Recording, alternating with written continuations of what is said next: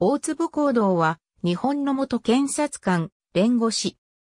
法務省保護局総務課長、大阪地方検察庁特別捜査部長、京都地方検察庁次席検事等を歴任していたが、2010年9月10日に表面化した大阪地検特捜部主任検事、証拠改ざん事件において、大阪地検特捜部当時の部下であった元副部長、佐賀元明及び元検事、前田恒彦と共に逮捕、起訴され、一審、二審ともに有罪判決を言い渡された。また、法務大臣からは懲戒免職の処分を受けた。2013年に確定した判決は、懲役1年6月、執行猶予3年。執行猶予期間終了とともに、放送資格を回復。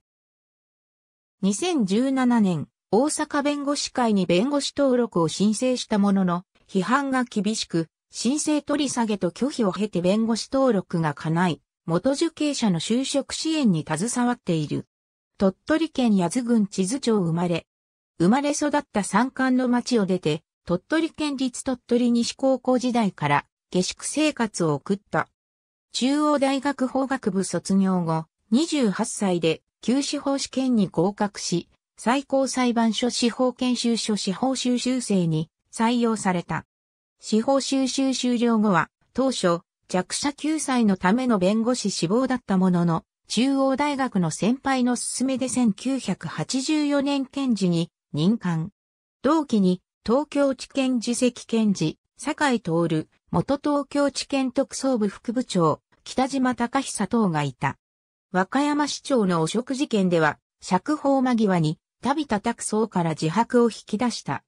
また、東京地検特捜部検事時代に手掛けた、オウム真理教事件で、幹部の土屋正美から、サリンの製造方法の供述を得るなど、大きな事件で重要な供述を引き出した。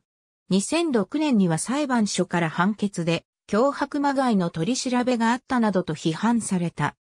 法務省保護局総務課長、大阪地検特捜部副部長を経て、2005年には神戸地検特別刑事部長に就任し、渡辺間宝塚市長の収賄を摘発するなどの成果を上げた。被疑者と向き合って自白を引き出す手腕は割合と評された。2007年から京都地検刑事部長を務め、2008年には大阪地検特捜部長に就任。障害者、団体向け割引郵便制度悪用事件などを手掛け、前田恒彦や上田俊治を重要事件の主任検事に抜擢して徴用した。2010年には京都地検事席検事に就任したが、大阪地検特捜部当時の部下であった前田恒彦が大阪地検特捜部主任検事、証拠改ざん事件において、証拠隠滅の罪で、同年9月21日に逮捕された後、大坪は、元特捜検事の最高検察庁公判部長、吉田光弘から任意の取り調べを受けた。当初は、安南が最高検の調べか、などと余裕を見せていたが、同年10月1日午後8時半に、大阪高等検察庁総務部付に移動した後、およそ1時間後の午後9時47分に、大阪高検庁舎内で逮捕された。容疑は、犯人増徳の罪であり、前期事件の捜査において、主任検事の前田が故意に証拠の改ざんを行ったことを知りながら、これを隠したとするものである。その後、大阪地方裁判所の決定を得て、大阪高知署で交留され、自宅や京都地検の自責検事室の捜索が行われた。逮捕後に接見した弁護士に対しては、プレッシャーを与えてこんなことになったのなら、本当に申し訳ないと述べたと報道された。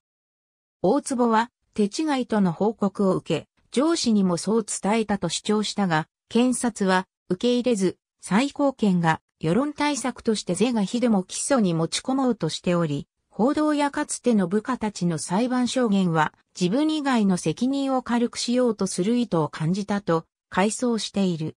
同年10月21日付に大阪地裁に起訴され、その後、同日付で柳田実法務大臣から懲戒免職の処分が発令された。2012年3月30日、大阪地裁は大坪に懲役1年6月、執行猶予3年の有罪判決を言い渡した。大坪は、この判決を不服として、同日、大阪高等裁判所に控訴した。しかし、大阪高裁は、2013年9月25日、大坪の控訴を棄却。大坪らは、上告を断念して、判決が確定した。弁護士法の規定により、禁錮以上の刑が確定すると弁護士となる資格を失うが、執行猶予期間が満了すれば弁護士となる資格が回復する。執行猶予期間が満了した大坪は2017年9月、大阪弁護士会に弁護士登録を申請したが、2018年1月に取り下げた。大阪弁護士会内で大坪の弁護士登録に否定的な意見が多く出ていたことや、同じく大阪弁護士会内で執行猶予期間の満了から弁護士登録までの期間が短いという指摘が出ていたことを考慮した大坪が弁護士登録申請を取り下げたもの。2021年、改めて弁護士登録申請を行い認められていたことが分かった。情熱的とされる一方、気分屋と評され、瞬間、湯沸かしきと呼ばれた。大阪地検特捜部長時代は、大坪とは対照的に温厚な性格で知られた副部長、佐賀元明とのコンビで動いた。